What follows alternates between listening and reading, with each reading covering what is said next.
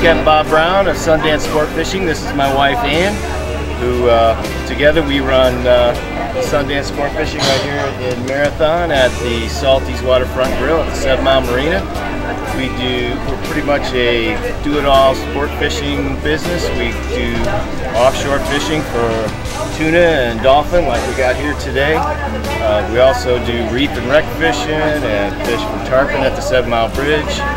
And we've been here at the Seven Mile Marina uh, pretty much uh, since 1989. We're the old timers here at this place, and we love it here in Marathon. It's a great place to be.